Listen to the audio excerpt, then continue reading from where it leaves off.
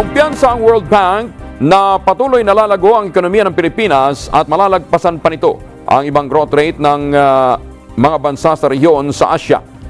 Sa kabila ito ng pagkabahala ng ilang investors sa kakaibang liderato at pananalita ng Pangulong Rodrigo Duterte.